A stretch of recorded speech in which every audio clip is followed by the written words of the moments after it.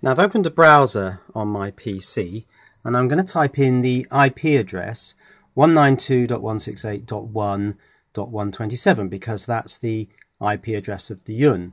So let's press return on that. And now we get back to um, this server web page that's actually coming from the Arduino Yun. So I need to type in the password Arduino. And now we're back here again with this uh, configure panel which we saw when we did the initial setup. So if I hit configure there.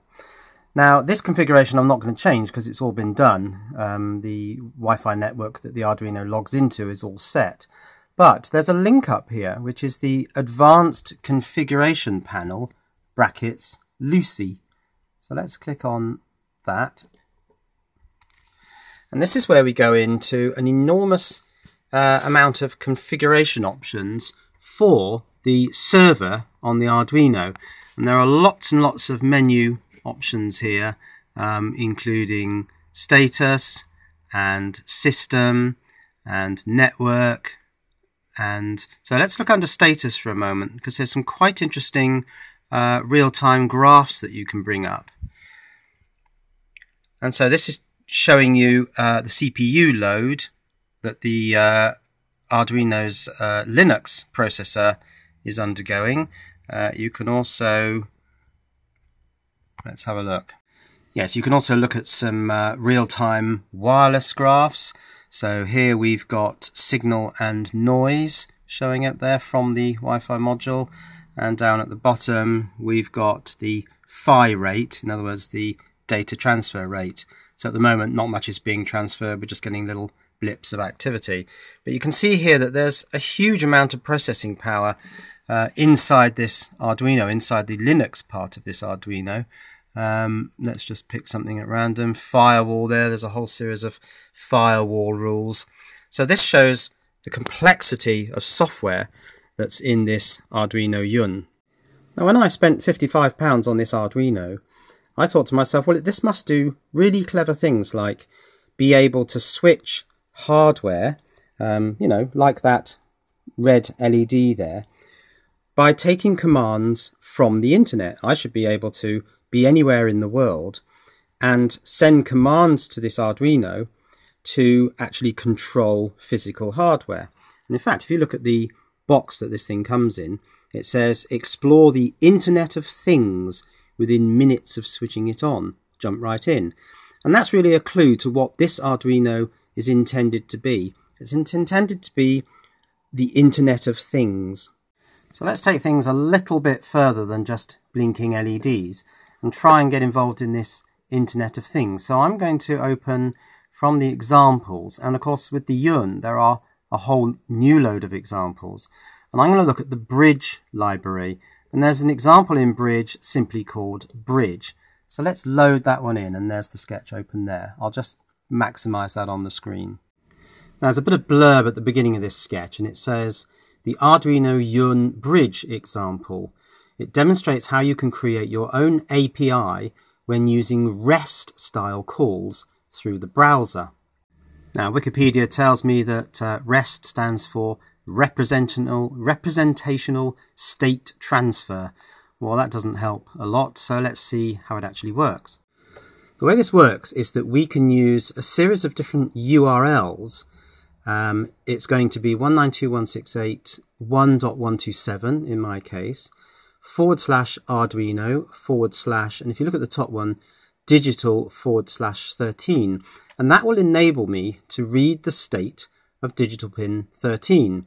Now the next one down, which says digital slash 13 slash 1, will actually allow me to control the state of digital pin 13, which is the one with the LED on it.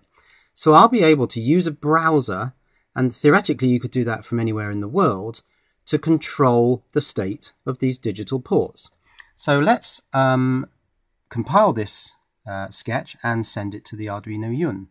So I've compiled that sketch, sent it to the Arduino Yun, and the D13 light, which is marked there L13, has come on permanently. So let's see if we can now control that using a web browser.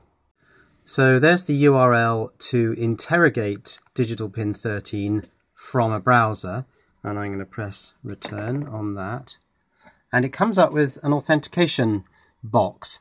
You have to type in a username and a password. Now I can tell you what that username and password is. Username is root and password is Arduino, but there's another way to get round this. So I've logged back into the Arduino Yun using its IP address simply 192.168.1.127 and I'm back to this configuration page and right at the bottom there's this thing REST API access and at the moment it's set to with password. Now in the um, getting started instructions it says change it to open but what it doesn't tell you is that that has an immediate effect. You don't need to hit configure and restart. So I can now send these REST API URLs and control the Arduino Yun. So I've now gone back to IP address slash Arduino slash digital slash 13. I've pressed return and it's given me the message pin D13 is set to a 1. Let's have a look. Yes it is. Pin D13 is set to a 1. The red LED is on. So now let's change that URL.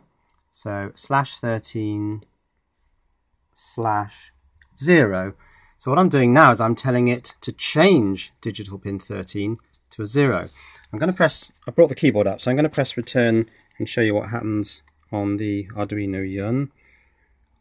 Press return and the lamp goes off. So I've actually controlled the state of that digital pin from the web browser and I'm getting a message now, pin D13 set to 0.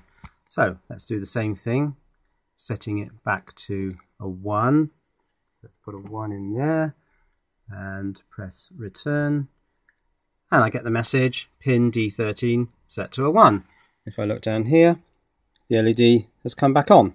So that's browser control of the Arduino Yun's hardware. Now I'm doing this on my local area network, 192.168.127, uh, .1.127, but there's nothing to stop me patching a route through my uh, firewall in the router there and allowing internet access to this Arduino Yun so that you could be sitting with a browser anywhere in the world and controlling the I.O. ports of this Arduino.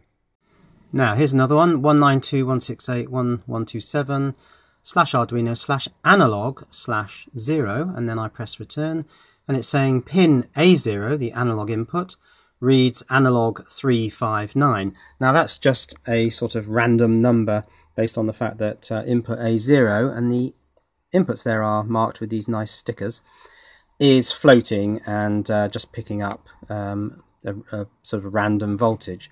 So what I'm going to do now is I'm going to link analog A0 with one of these link pins down to ground.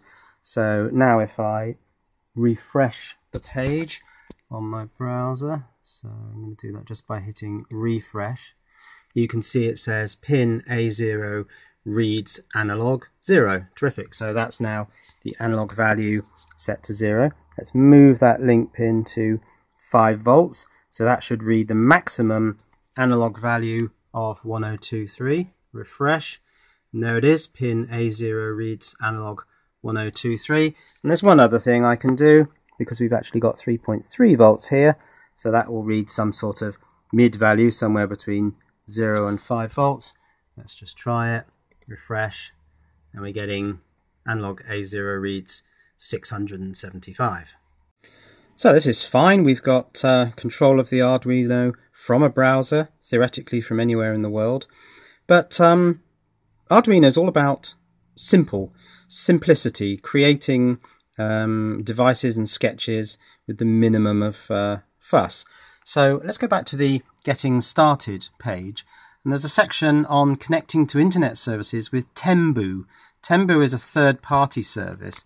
And if we go to the Temboo Getting Started page, we can see that there's a whole thing all about the Arduino Yun here. Let's click on that. And what you can do is you can do quite clever things like if a, a digital pin on your Yun changes state, you can get it to go to Temboo and have Temboo send a tweet. Or you can get it to go to Temboo and have Temboo send an email. So this takes things a little bit further because you could perhaps connect one of these digital inputs to a switch mounted on a door, and every time someone walks through that door, it sends you an email.